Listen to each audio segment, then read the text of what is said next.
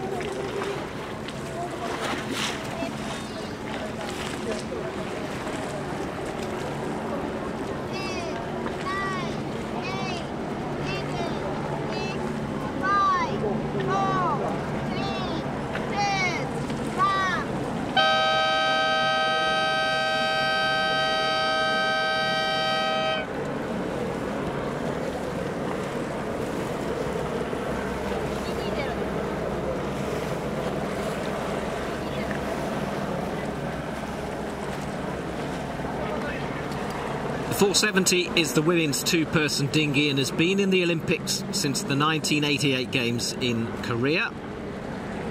It was the first sailing event, in fact, specifically created for women sailors, and the boat is identical to that used by the men. The medal race is about to get underway. Let's check out the course that they'll be racing. It'll be upwind, downwind. They'll do that twice so four legs in total, and then it's a short reach to the finish. Round about half a nautical mile is each length, that's 750 metres. Well, the British pair of Hannah Mills, the defending Olympic champion, and her crew, Eilidh McIntyre, go into this as favourites to take the gold, thanks to a 14 point lead. The French Camille Lecointre and Aloise Retornaz, well, they're sitting second ahead of the Poles, who had a shocker of a day yesterday that saw them slip to third overall. It'll be interesting to see if they can put that behind them for the medal race. So a 14 point lead going into the medal race for Hannah Mills and Eilidh McIntyre. They're a new pairing after Rio, so it's their first games together, but they've been formidable Bronze medalists in Rio, Camille Lecointre and Eloise Retornaz, aiming for one better and silver.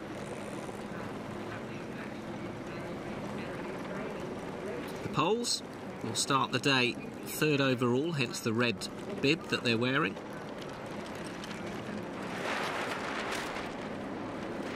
But also in the hunt for medals, the Tina Mrak and Veronika Macarol of Slovenia and Fernanda Oliveira and Ana Barbachan of Brazil. They won the last race of qualifying.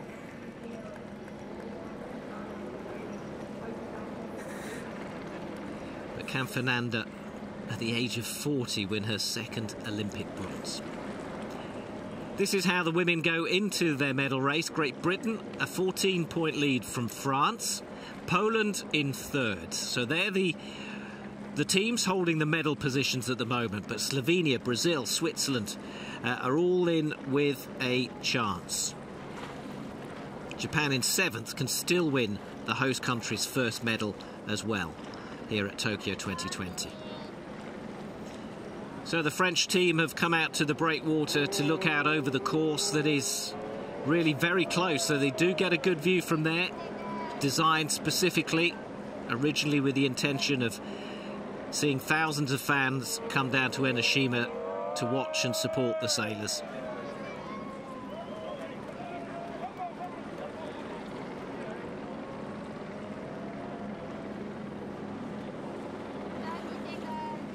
So we're into our start sequence now, four and a half minutes to go.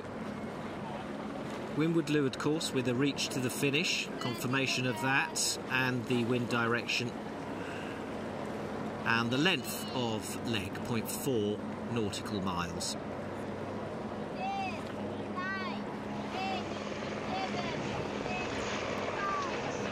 The British pairing looking well placed to defend Hannah Mills' Olympic title from Rio. But, you know, 14 point advantage in a double points medal race can soon evaporate if these women here from France perform, the second placed team. Keep an eye on them. And Poland are just four points behind the French. It'll be interesting to see if there's a battle between second and third, or if they focus on the leaders.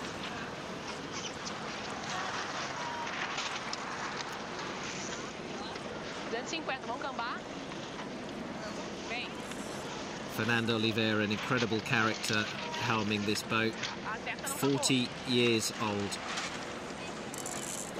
Hugely experienced. Linda Fahrni and uh, Maja Siegenthaler of Switzerland. They start ahead of the Japanese. And the Japanese have a huge sailing culture within the 470 and it would really be quite a story if Kondo Yoshida and Yoshioka can come away with a medal for their country. Last but not least, the Netherlands. Afrodite Zegers and Lobke Berkhout.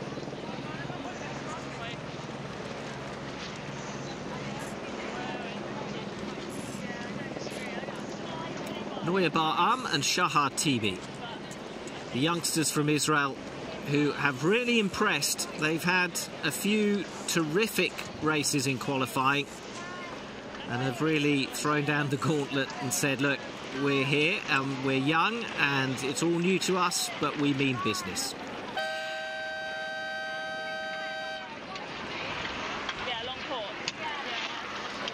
We've got cameras, we've got microphones on board.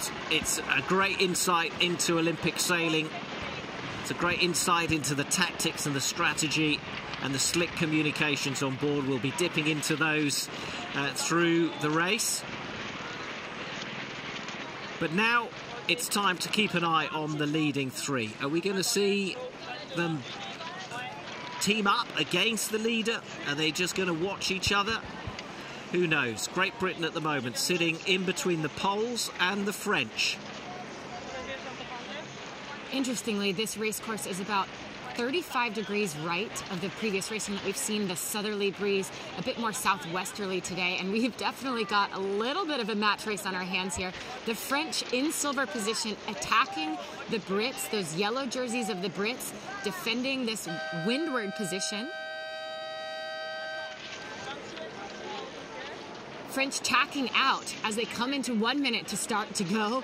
So it is all on for Hannah Mills and Eilidh McIntyre to try to stay away from silver medal. So those three boats in the centre of the screen, they're the ones challenging for the medals. Great Britain 14 point advantage going into this to defend their Olympic title. To their left is Poland, sitting third overall. And to the left of the Poles, the French, who are just slotting in there. They are second overall. 15 seconds to go, and they're getting dangerously close to that start line. Should they hit it before the clock hits zero, they'll have to go back and start again. Boats under control.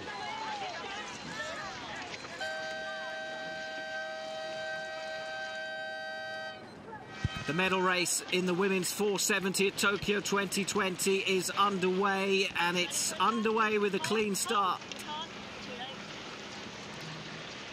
So that little attempt at a match race by the French was just to scare the Brits. Then they let them go. They actually did not have the best start down the line. So you're seeing the French tack out here. All teams pumping. That O flag was up at the pre-start, which means there's unlimited pumping allowed. It's just windy enough. Hence those hip thrusts of the crews, sometimes shoulder thrusts of the scripters, as they try to make their boats have more wind than the racecourse has itself. The team to catch, Great Britain. Mills and McIntyre.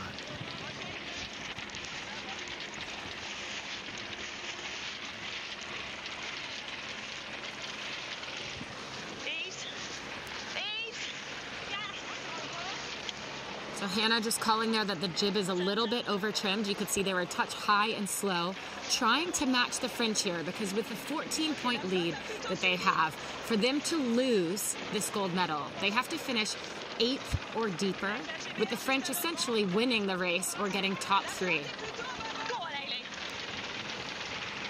Hannah here encouraging Eilidh in her pumping. But all eyes for them are just on the French boat below them.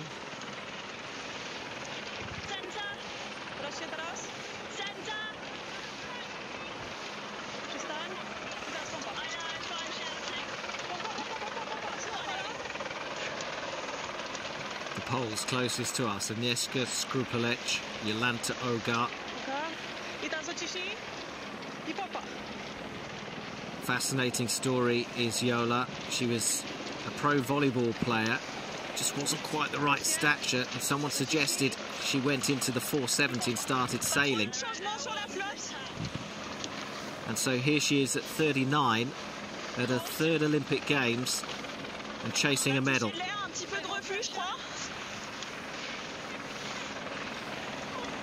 And so for the Brits, their eyes are on the French, but the French's eyes are on Poland. They currently have a four point gap to Poland, so Poland would have to beat the French with a boat in between in order for them to clinch the silver medal. At the moment, it doesn't look like that, but. Early days in this medal race as they head upwind for the first time with the Swiss nominally out in front. Going really nicely. Okay. I actually think pumping is better when the breeze is up. Just stopped a bit there. Ready for attack. Going in two. One. The Brits choosing to face the French there, so tacking directly on their line. This is an offensive positioning, but also defensive at the same time. What they're doing here is just ensuring that the French have bad air, that if the French tack back out to the right, the Brits can protect against them as well. It's like staying between your man and the basket in basketball.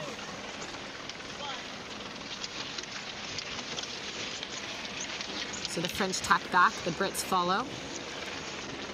Sheet on. Sheet on. Very tense Hannah Mills today. I think she's not feeling any part of that 14 gap. She's racing this race like this is the winning medal race. Well, they definitely mean business. They want to win this race. Hannah Mills winning gold with her partner Saskia Clark in Rio.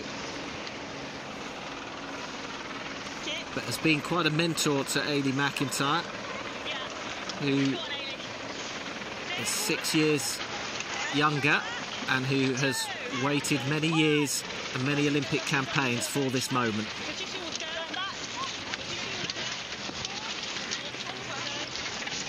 Quite a match race happening here. Attack with France tacking underneath. Hannah went right back. Eilidh almost didn't even have time to grab her trapeze wire before tacking back again. I think this might be the moment that they let them go. They've hammered them a couple times. They'll accelerate here, take a look back, assess their positioning, and then here they're tacking now. Ready for attack.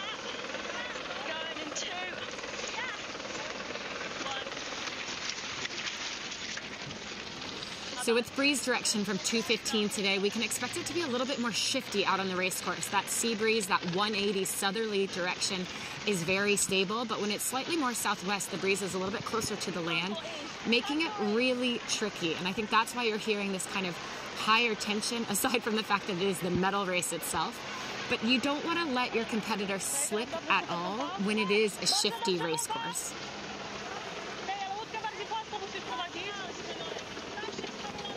Another fun fact about Poland, they sailed together in the London Games. Then Yola switched, sailed the Austrian team in Rio, finishing ninth there with her teammate finishing 10th for Poland. Yola went back to her home country, the Polish flag, teaming up with her old teammate again for this Games, and they are finally in medal contention. Yeah, she reckons these will definitely be her last games, so she's quite pleased to be finishing as a pole.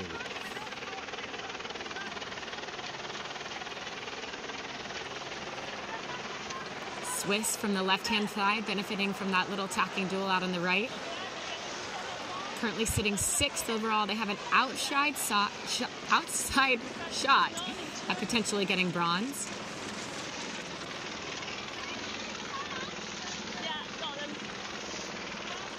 But for them to actually do so, they'd need to win with the Polish in about eighth or ninth. It doesn't look like it's quite in the cards for the moment for Switzerland.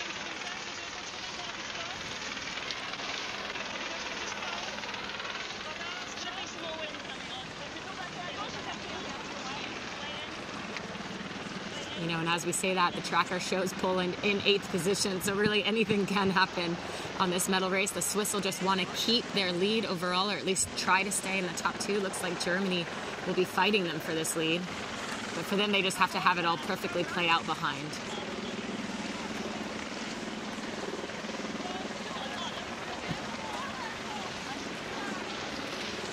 The Germans sit in eighth position overall on 73 points for the week. They're not in contention for the medals.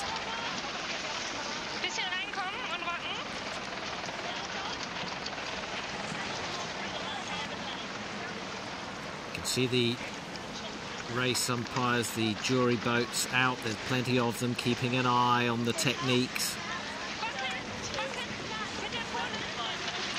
And especially on a day like today when the pumping rule is in effect and they're allowed to affect what they're what they're really keeping an eye out in many ways is for any fouling in between the boats. If, if boats have a foul position, they'll pull a red flag out, they'll ask for the umpire's decision. The umpires will either green flag that or they'll penalize the boat.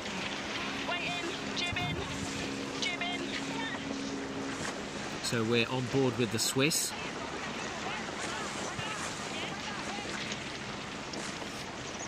Linda Fahrni Maja Siegenthaler actually learned to sail on a lake. They're from Thunersee, near Bern. And funnily enough, that tends to be the case with most um, Swiss sailors that they've learnt on lakes. but whatever they've learned, they've done it well because the Swiss are out in front at the top mark, ahead of the British.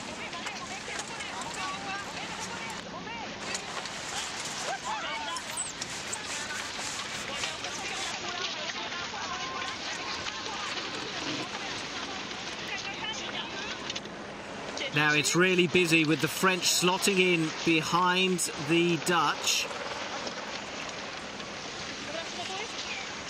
So it was Germany round in third, then comes the Israelis, the Dutch are in fifth, the French are back in sixth.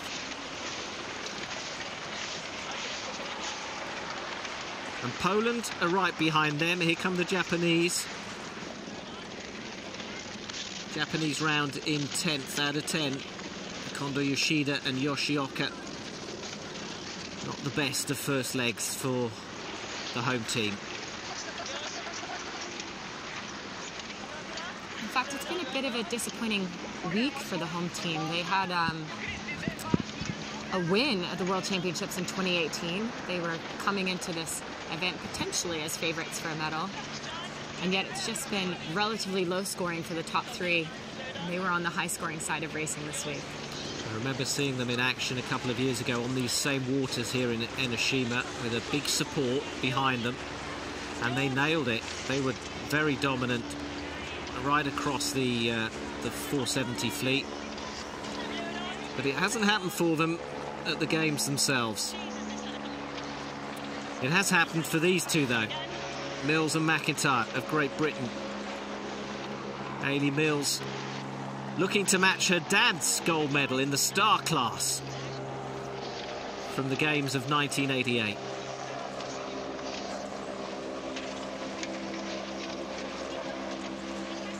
Hannah, previously a double medalist in the 470 silver in London. She took the gold in Rio.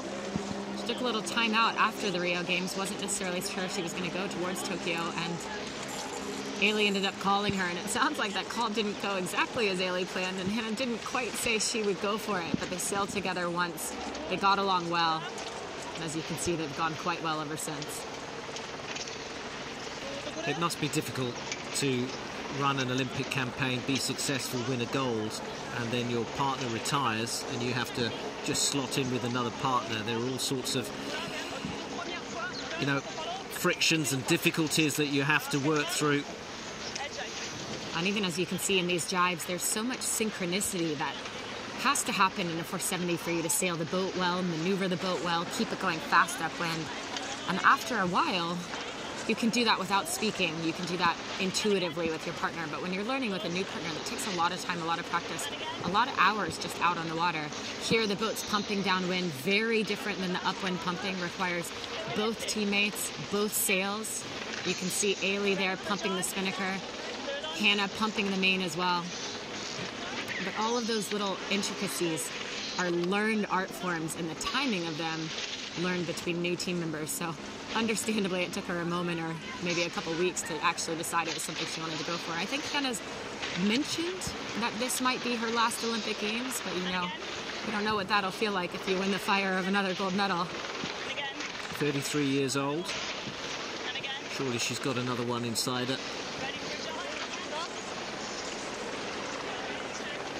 If she wins here, she will be the most successful ever female sailor at the Olympics. She'll be mindful of that before deciding if she wants to do another one. But we're not we're not at the halfway stage of this race yet. So let's just follow them down and then we'll take stock of the positions and the medal colours at this bottom mark.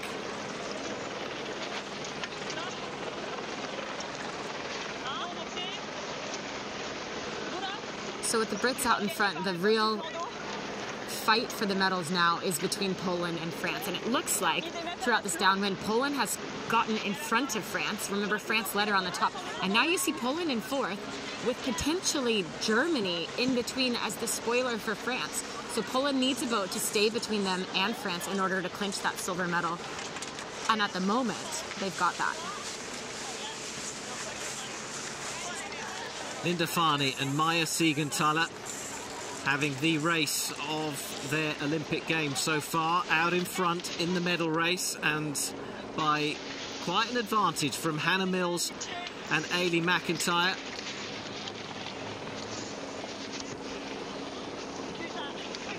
Thirteen seconds, the official delta between first and second. In come the Israelis, Baram and Tibi. The Poles in the mix, the French around.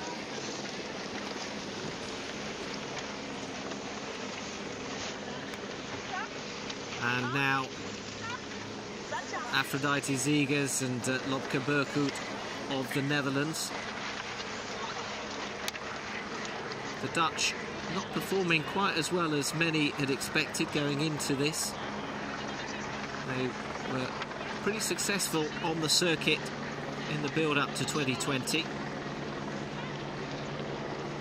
but only came into the medal race uh, qualifying in ninth overall so just sliding in to the top 10 well, and notably missing in the top 10 the current world champions the Spanish team.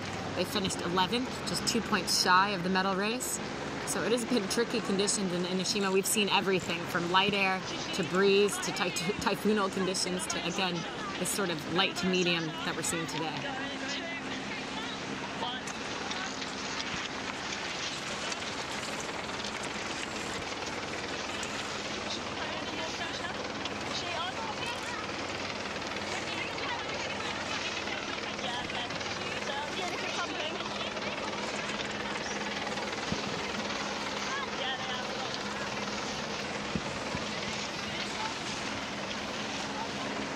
A small advantage for Switzerland from Great Britain.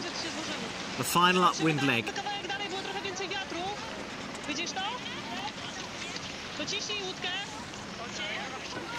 The Poles trying to make sense of where they are and where they want to get, go, their strategy and tactics.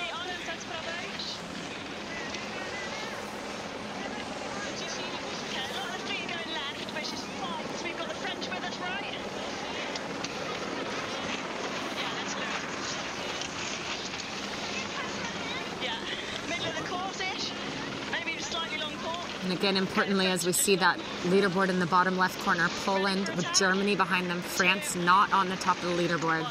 That is, in, in many ways, at this moment, the fight for the medals with the British team out in front and second in this race, clinching in many ways what will be a fantastic second gold medal, a first one for Eilidh McIntyre in her first Olympic Games. So these boats sailing up the centre of the course on this second, on this third leg the French further out towards the left. Then it's GBR and to the right of them Poland. The tricolor is flying on land, but on the water, Lecointre and Retornaz need to make up places.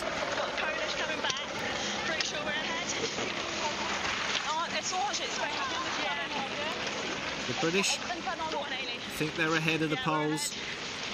It's great to hear Hannah Mills encouraging her partner all the time, isn't she? Ready for attack? Two, one. I think the right is just the game side at the moment. Better pressure. On.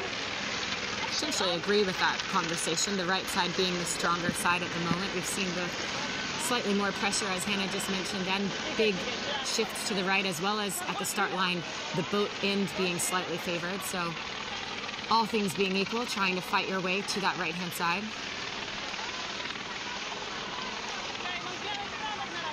Plenty of data coming in off the water. There are sensors and weather stations all around the course that we have access to here in commentary. But of course, the sailors themselves are doing all this by the naked eye, by feeling the breeze on their faces. It's all, it's as much sensory as it is mental and psychological and intellectual.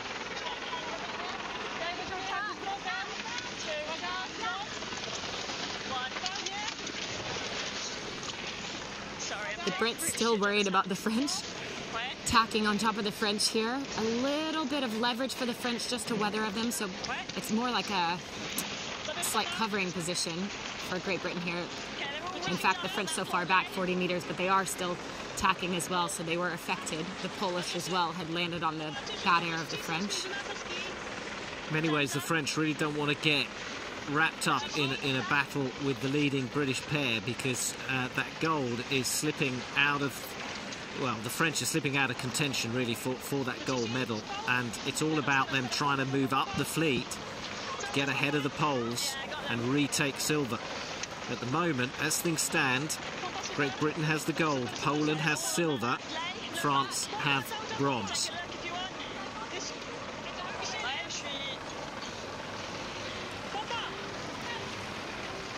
If it's at all close with the Israeli, would you go behind?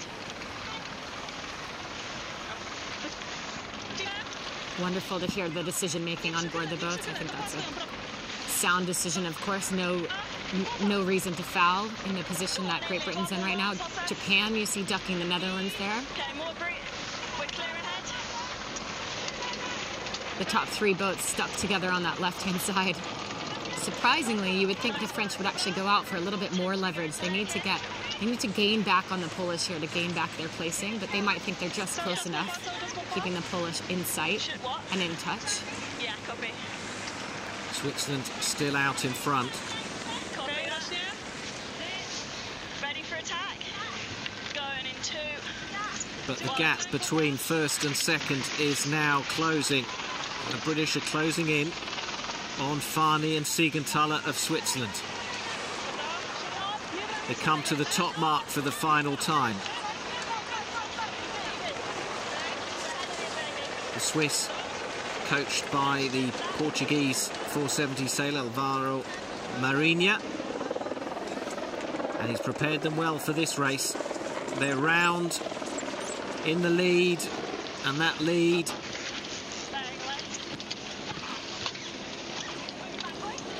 is slightly smaller than it was at the bottom gate. But the Swiss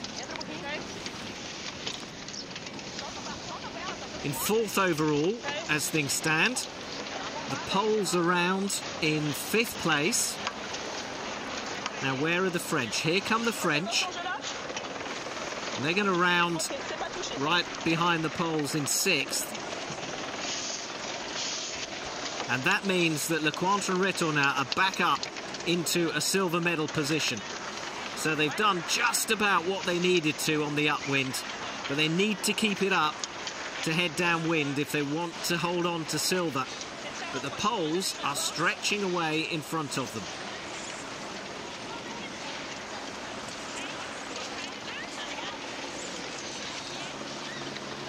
Unfortunately for the Polish, there were more moments there where the German team or the Israeli team were between them and the French. By the top mark, the Germans and Israelis had gained some distance, had opened up the space behind them. Poland just rounding just on the bow of France, and now I think Slovenia in the mix as well. So France really trying to follow Poland out to this right-hand side, keep Slovenia behind them. Slovenia potentially the only spoiler Okay. for the French from their silver medal. Ouais, c'est ça, exactement.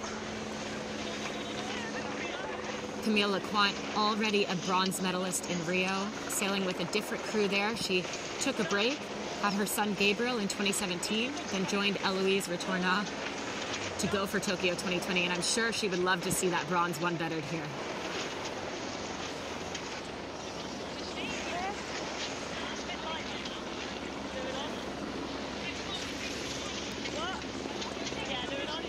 Quite a few of these uh, sailors in this fleet are mums. With all the difficulties that that brings as far as logistics and uh, life management are concerned, trying to fit it all in with the training.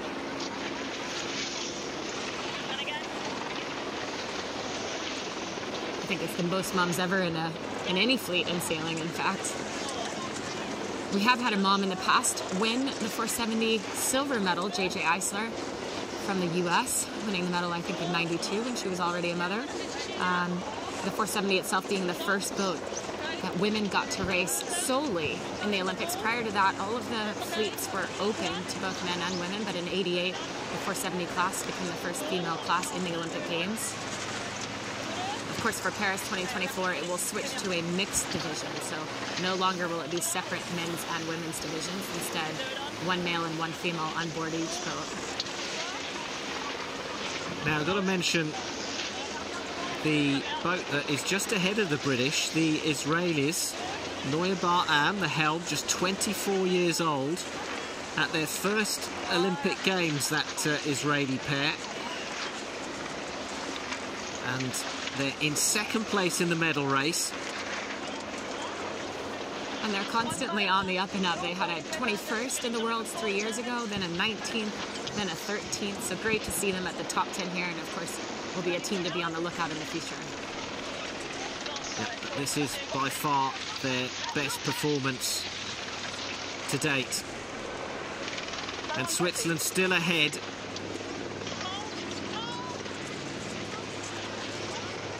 Such hard work, isn't it, this boat downwind?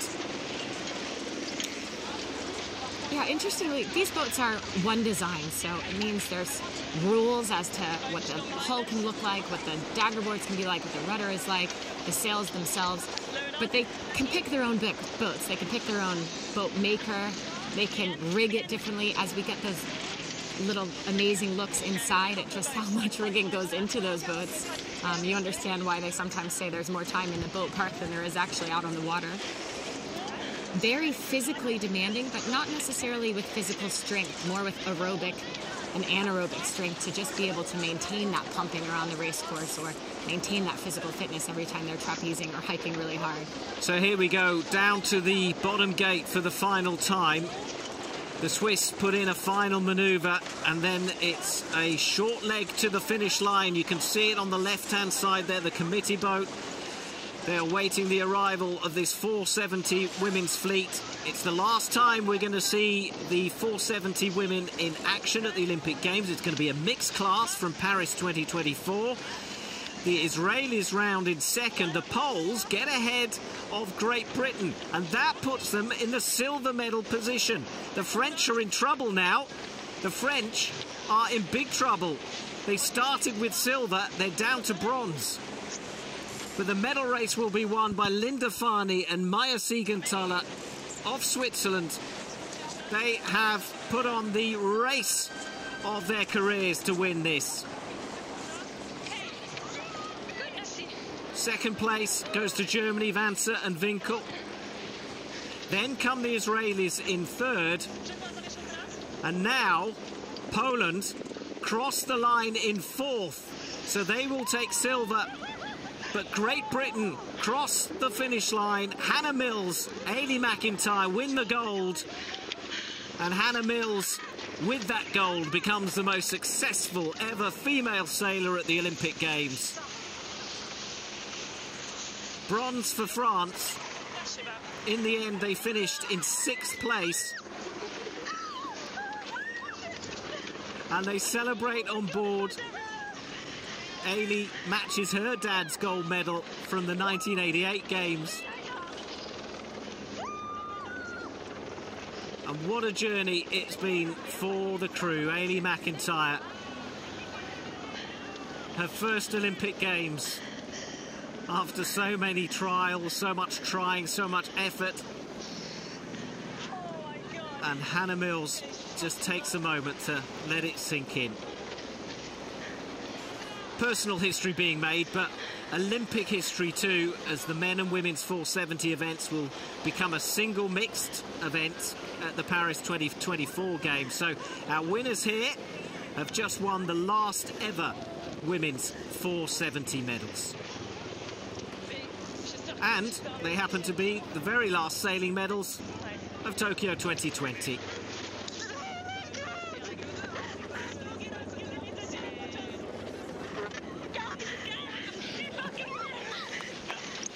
The coach Joe Glanfield dropping Hannah in the water. I think it took about two minutes as they crossed the line for it to really properly sink in for them.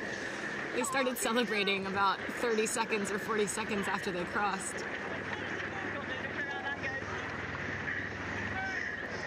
Winners of the women's 470 event are Great Britain, Hannah Mills and Eilidh McIntyre. And for Mills, that's two successive gold medals gold in Rio, gold in Tokyo, plus a silver from London. Alessandra Sensini has won more, but the Italian windsurfer has won just one gold, along with a silver and two bronze medals. Hence, the title of most successful ever female sailor at the Olympic Games now for Hannah Mills.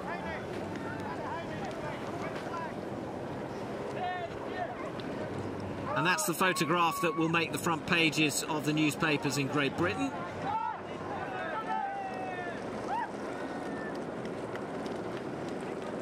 We haven't even mentioned yet how hot it is today in Japan. We've got heat alerts and heat warnings everywhere, so jumping in the water is not only tradition for winning, but also a relief at the moment. it certainly is. For Poland, a great performance in that medal race really puts behind them their two 15th place finishes in the final two qualifying races yesterday. Uh, real shocker, and some people wondered whether they were melting not just under the heat but under the pressure as well. But not so. Skrzypulec and Ogar, in the end, crossing the line in fourth and taking the silver medal. And I think there's going to be an element of disappointment there on the French boat. Bronze, a huge achievement, a bronze at the Olympic Games, and it matches Camille Lecointre's bronze in Rio. But she really, really was targeting the silver, and they started the day silver overall. It's never a good sign when a boat after the race is speaking with the jury boat either, so we'll, we'll have to see what that's about. But the medal racing is usually called on the water during the racing. There are no protests allowed in the rooms. The final race, the final positions are final. But France clearly disappointed with dropping that one place. Don't remember hearing any um, any protests or see any red flags or whistles being blown. No, me neither. So the only other things can be technical equipment. I know that earlier this week, we know, I think the Germans have two DSQs. In fact, yep, Germany, first day scoreline. Confirmation of the women's 470 then. Great Britain take the gold ahead of Poland silver and France take the bronze. Switzerland won the medal race and that moved them up to fourth with Slovenia fifth Japan seventh, the home nation, and the Netherlands finishing in tenth.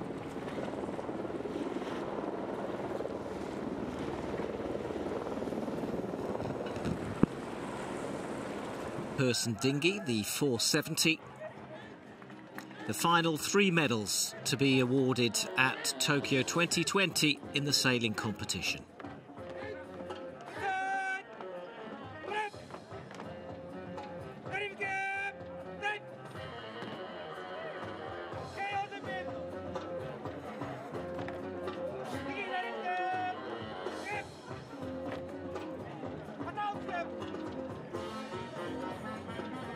Ten classes of boat have competed on the waters of Enoshima, about an hour and a half from Tokyo. 30 medals awarded in total.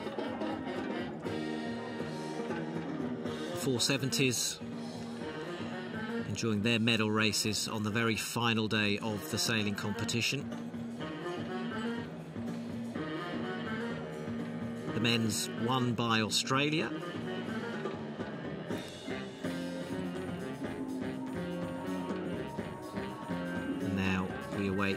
the awarding of the medals for the women's. With the winners just standing by, ready to make their way to the podium.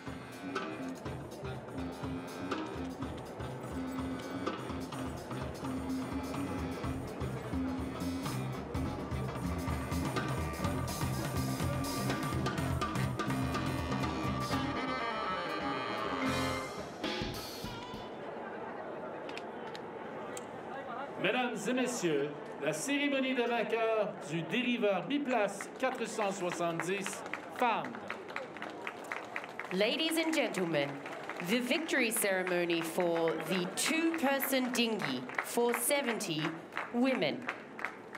皆様ただいまよりセーリング女子4709の表彰式を行います。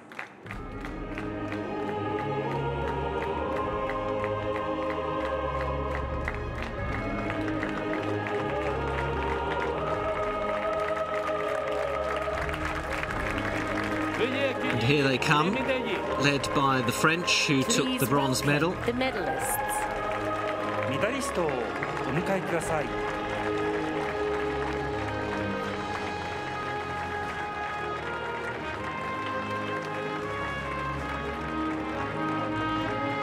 And the rest of the teams have all stayed on to show their support. The other classes have all concluded their competitions. obviously in these days we the sailors do not have their friends and family. So very unusual games from that point of view but the rest of the sailing community at Enoshima coming together to support the action. And now the ceremony. Monsieur Camilo Pérez López Moreira, membre du CIO Paraguay. IOC member Paraguay. IOC 委員パラグアイ Accompagné par Accompanied by 続きまして Monsieur Tomasz Kamera, vice-président de World Sailing Pologne. World Sailing Vice President Poland. ワールドセーリング副会長ポーランド Médaille de bronze, France. Bronze medalist France. 銅メダリストフランス Camille Lecointre, Aloïse Retornaz. Bronze medalists in Rio, bronze medalists again in Tokyo. Camille Lecointre on the left there. They started the medal race second overall, well placed for a silver, but in the end, a sixth place finish in the medal race saw them drop to third. And bronze it is for Camille Lecointre and Aloïse Retornaz.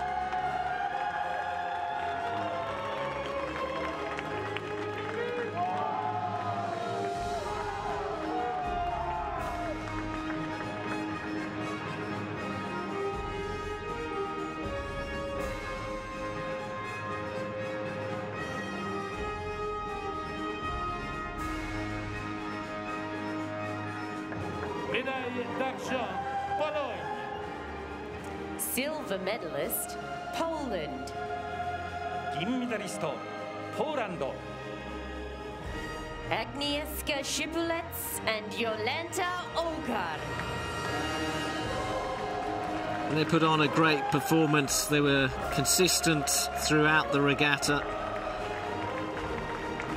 Agnieszka Skrzypulec, former world champion in the 470, and Ogar at her third Olympic Games, having represented Austria in Rio.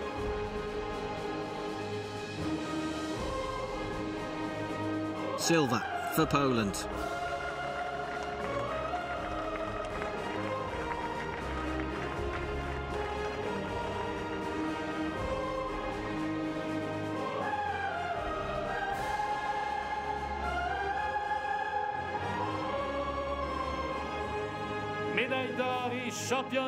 olympique, la Grande-Bretagne. Gold medalist and Olympic champion, Great Britain. 金メダリスト、オリンピックチャンピオン、英国。Hannah Mills and Eilidh McIntyre. Hannah Mills, for her, it's two successive golds in Rio and Tokyo, plus a silver from London. And that makes her the most successful ever female sailor at the Olympic Games. For Eilidh at her first Olympic Games, it's a gold medal that matches her dad's gold in 1988 in the star class.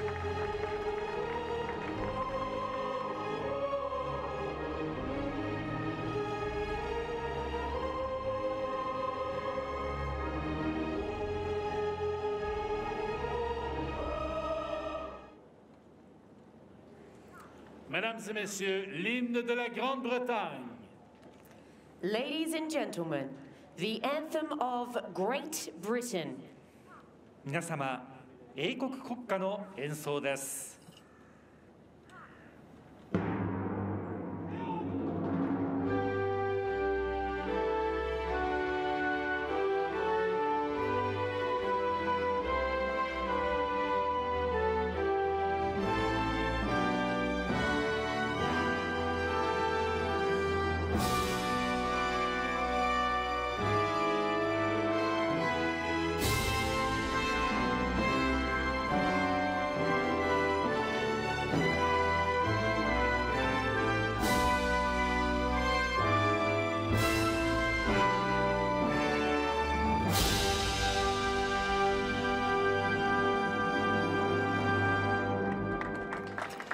Newly formed team after Rio. They've come to Tokyo and won gold. Ladies and gentlemen. And that is Great Britain's third Olympic gold in two days in the sailing competition, bringing the country's haul to three golds, a silver and a bronze, and establishing them as the most successful sailing nation at the Olympic Games.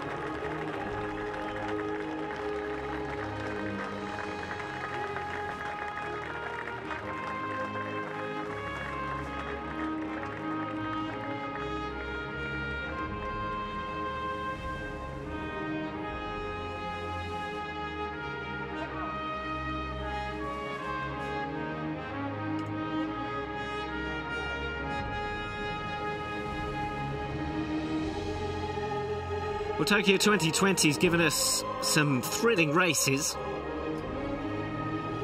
We've had everything from photo finishes to capsizes, crashes, protests. And the conditions have been varied and testing. And the pictures from the water have been stunning as well. All of it presided over, of course, by the steely gaze of Mount Fuji. Well, Paris 2024 will see two new events in the sailing competition. The men's and women's kites will make their debut, as well as the new foiling windsurf. And the 470s will become a mixed class. So these are the final medals we will see handed out in the 470 women's at the Olympic Games. And so, from the waters of the Pacific Ocean, the Games will move on to the Mediterranean and the city of Marseille in France in three years' time. So, from Enoshima, it's goodbye.